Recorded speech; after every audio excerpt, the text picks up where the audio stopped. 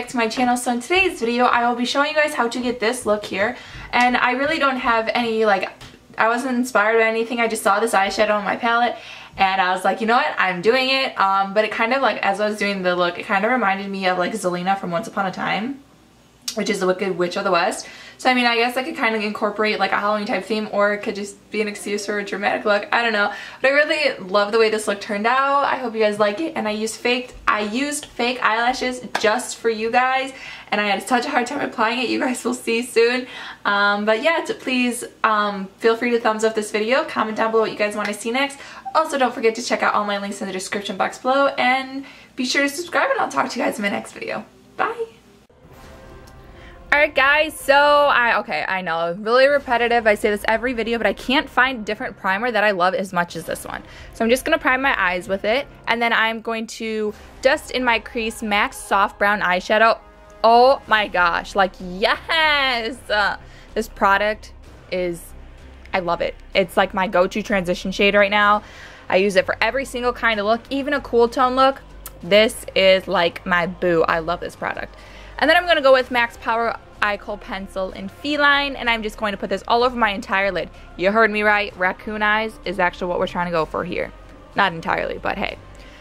And then I'm just going to take like a flat brush and I'm just going to really blend it out. Well, this kind of is just smudging it out. This was really hard and re I really cut this process in half because it took so long. But, and then basically I take my Real Techniques brush and I just really kind of blend everything out.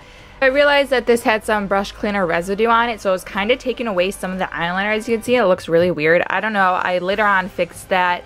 But so basically that's what I'm doing. I'm just applying it directly to my lid and then kind of smudging it out and then going in with like a fluffier, more of a blending brush to really blend everything out. Blending is key for this look, especially since we're using blacks. You want to be very, very careful. And that's why I'm doing the eyes first and not foundation. So I'm taking this shade from the Comfort Zone palette by Wet n Wild. And this shade really reminds me of the MAC pigment blue brown and I know a lot of people have said this is a dupe but this reminds me personally a lot of this shade. So if you have that pigment that's great or this is like a cheaper version of it. So I'm just going to pack that all over where I put the black and then I'm taking my blending brush with no additional product and I'm just going to really go back and forth windshield wiper motions and really really blend out that look. Like I said guys blending is key for this look if you don't blend it, it's just to look like a mess and you're to look like some serious raccoon eyes happened. I'm not even joking. You really need to blend. I had troubles with this look was like so, I don't know, everything that could possibly go wrong with filming went wrong with this and it was just a disaster. Anyway, so uh, now I'm to like go onto my eyes and I'm to use my Smashbox primer water. I'm just to spray this all over my face and then I'm to use the Maybelline Fit Me foundation and I'm just going to put this all over my face. As you can see, the eye look is very simple and easy. There's only a few steps left for it. It's just basically two colors or two, three products and it's really easy. And that's why I think like, that's why I love this look so much because it's so easy. You can create such a dramatic and beautiful look with such few products. But anyway, so I'm going to blend in my foundation with my Real Techniques Expert Face Brush.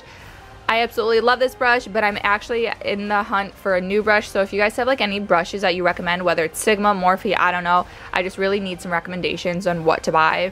I'm so stuck.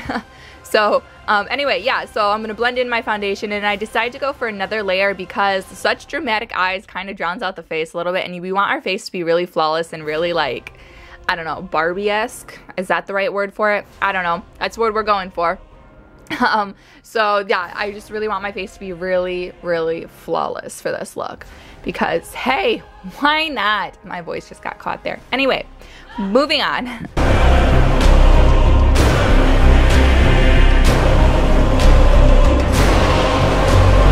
So then for concealer, I'm using my Urban Decay Naked Skin Concealer and I'm just going to put this in like a triangle under my eyes and I'm going to bring it down the sides of my nose and I'm really going to highlight with this product um, just because the concealer was so much lighter than my face so I'm just going to put it exactly where you would highlight normally. And then I'm going to blend it in because like I said blending's crucial hey?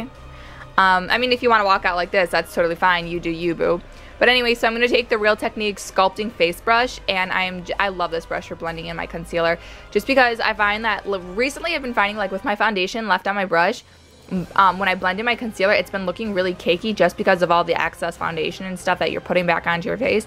So I find if you have like a separate brush, it works really, really nicely and flawlessly and you don't look like really like cakey and gross.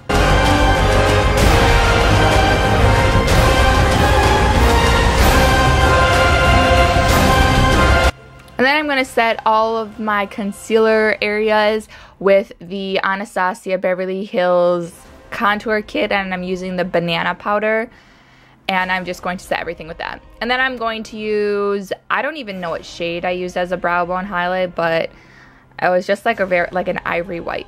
Anyway, so I'm going to take a black eyeshadow and I believe this is Makeup Geek's Corrupt eyeshadow.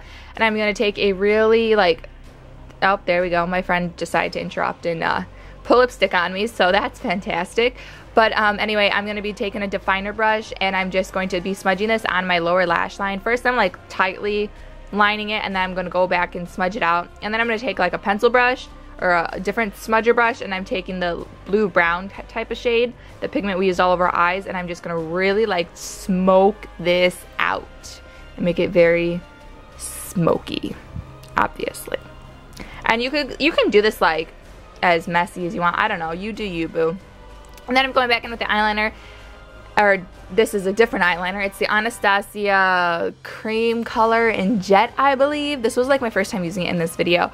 But I'm just going to line my eyes and I'm going to do a really dramatic wing because this look was so dramatic. I was like, you guys know what I say in every video I do that's a dramatic eye look. Why not go the extra mile, right? I mean, we're already going the extra half a mile. Why not go the full mile? You know what I'm saying? Okay, so we're just to do that. And then I'm taking my MAC eyeliner and I'm to line my waterline. And you guys could see I poked my eyes a million times. And then I'm going to actually use falsies today. And these are, I forget what they are, but they're by Ardell. And I'm just going to, I actually did not have a hard time with this side, but the other eye, like it would not go on. So I'm just going to apply those to my eyes. I actually took them off and put them on my makeup desk and I'm missing an eyelash now. And I was so mad because I actually really liked these eyelashes, but I have another set, so that's fine. And then on my lower lash line, I'm taking my Maybelline Illegal Length Mascara because, you know, you know me. You gotta have something on your lower lashes. And then I'm going to take Fawn by Anastasia, the bronzer, and I'm just going to contour my face. Not really like sculpting out my face, more like bronzing, you know, putting something there. I have not been like really sculpting out my face lately. That's just not me, not what I'm into. So don't forget to put it on your forehead and then your neck. And then I'm using this L'Oreal True Match blush, and I believe it's in Precious, Precious Peach and I'm applying that to my cheeks. And then you guys know how I do my eyebrows. I showed you a million and one times, so we're just gonna kind of skip over that. And then I'm gonna highlight with uh, Becca's Shimmering Skin Perfector in Opal. And I'm just gonna apply this to the high points of my face and just really highlight this look. And then for lips, I'm taking this NARS like jumbo lip thingy I don't know what shade it's in. I will link it somewhere write it somewhere on the screen. I honestly have no idea. But anyway, so that's my completed look. I hope you guys really like it. Comment down below what you guys want to see next. Don't forget to give this video a thumbs up. Also, please subscribe. And I'll talk to you guys in my next video. Bye.